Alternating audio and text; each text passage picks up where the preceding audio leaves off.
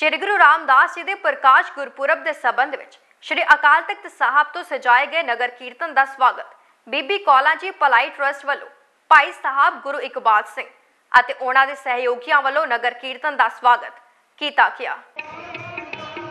ਧੰਨ ਗੁਰੂ ਰਾਮਦਾਸ ਜੀ ਦੇ ਆਗਮਨ ਪੁਰਬ ਦੀਆਂ ਬਹੁਤ ਬਹੁਤ ਵਧਾਈਆਂ। ਅੱਜ ਨਗਰ ਕੀਰਤਨ ਬਹੁਤ ਪਿਆਰ ਸਤਿਕਾਰ ਨਾਲ ਸ਼੍ਰੋਮਣੀ ਕਮੇਟੀ ਤੇ ਸਾਰੀ ਅੰਮ੍ਰਿਤਸਰ ਦੀ ਸੰਗਤ ਵੱਲੋਂ ਨਿਕਾਲਿਆ ਜਾ ਰਿਹਾ ਹੈ।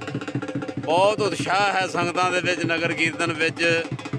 ਸਾਰੇ ਚੈਨਲਾਂ ਨੂੰ ਫਾਸਟਵੇ ਨੂੰ, ਹੋਰ ਚੈਨਲਾਂ ਨੂੰ ਵੀ ਵਧਾਈਆਂ।